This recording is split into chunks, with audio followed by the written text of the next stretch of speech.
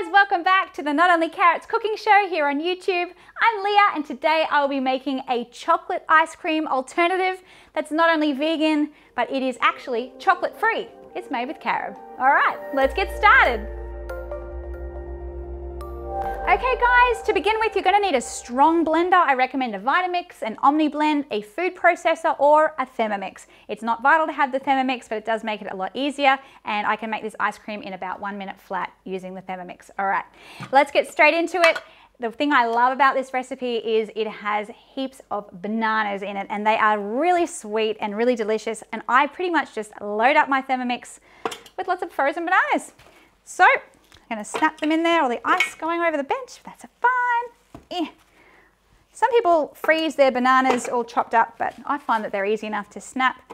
And what I do is I buy bananas in bulk, probably normally buy the box full, and then I wait for them to get really nice and ripe, and then I freeze big bagfuls. Eh. And then whenever I want a smoothie or make some ice cream, we've always got some there. And my kids even enjoy eating them frozen as a little treat. They really love frozen bananas.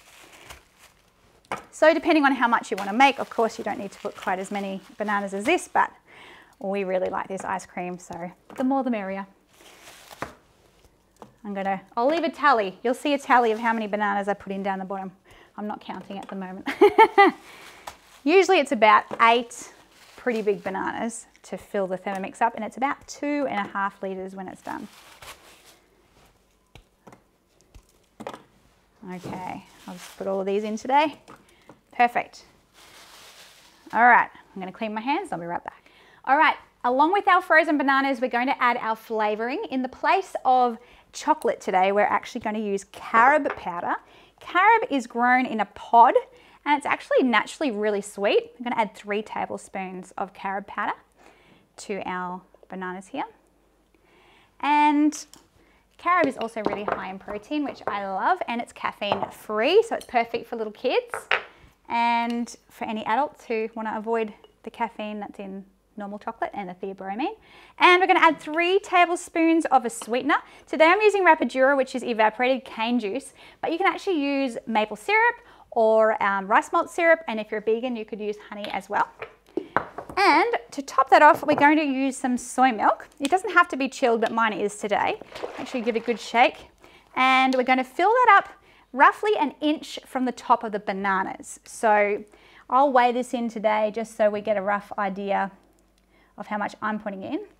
But yeah, it's usually just a little under and that way you get that really delicious ice creamy soft serve consistency, which I really love. Okay. So what did I get today? 745, so about 750 grams, which is about three cups full. All right, I'm gonna pop that lid on and we're gonna encourage the blending with the spatula. If you're using a strong blender, you could use your paddle or spatula as well. And we're gonna whiz this up on speed seven and a half.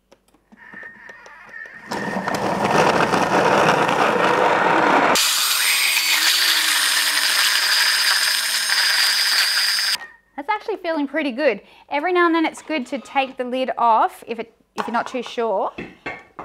Oops. and double check that there aren't any big lumps of bananas left. But this is definitely made. Look at that. Oh, so good. Oh, so good. so good. so good. Okay. All right, so grab a, a glass, guys, and we're going to just load up our delicious vegan carob ice cream. Oh my goodness, this looks so good. It's gonna taste really good too. It actually brings back memories for me from the, the, olden days when I used to have McDonald's thick shakes and I love the chocolate thick shakes and it actually is quite reminiscent of a McDonald's thick shake. So here it is guys, this is the consistency. These taste really yummy as well. And if you prefer a really deep, rich flavor, you can add another tablespoon of your carob powder in there, plus another tablespoon of the Rapadura. Generally, for me, I find one to one is a good ratio with carob and Rapadura. I hope you enjoyed this recipe, guys. Make sure you check out my Sultana cookies recipe because what my husband loves to do with this yummy ice cream is crumble over the top of this either an Anzac biscuit or a Sultana biscuit, and it gets a lovely crumbly, delicious flavor in there as as well as the ice cream. I hope that you'll check out the other videos I have here on the channel, guys. Make sure you subscribe if you haven't already. Click the bell so you don't miss out on any of my upcoming videos.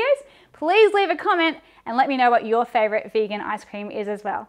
All right, guys, check out my cookbook as well. Any support you give me here on the channel is much appreciated. All right, we'll see you in the next one. Bye.